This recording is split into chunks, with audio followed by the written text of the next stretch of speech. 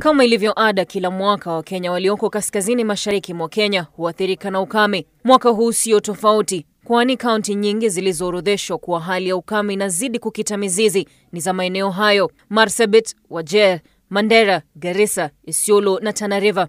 We are upscaling uh, support in terms of food distribution.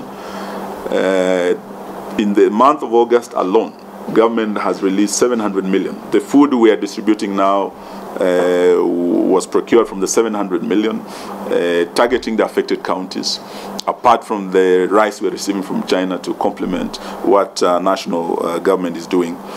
The 300 uh, million would go towards water, tracking, uh, animal feeds, because as we speak, many of our animals have gone to neighboring countries, Ethiopia, all the way to Uganda. Huku kaunti 23 zikiathirika na ukame kama vile Baringo, Turkana, West Pokot, Tharaka Nithi, Samburu na Kilifi.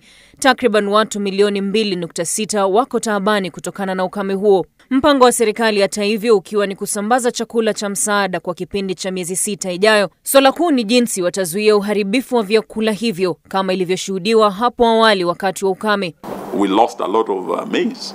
Uh, that went bad due to uh, uh, poor storage conditions. So these are areas where we want to uh, invest in uh, improving storage going forward. But most importantly, what we also want to improve is the issue of water harvesting and storage, so that when we have rains, we should be able to save this water for days when there will be no rain, when there will be drought.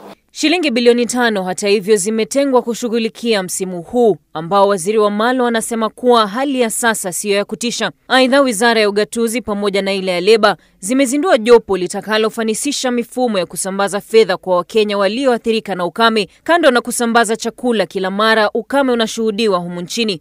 Raquel Mwigai, runinga Citizen.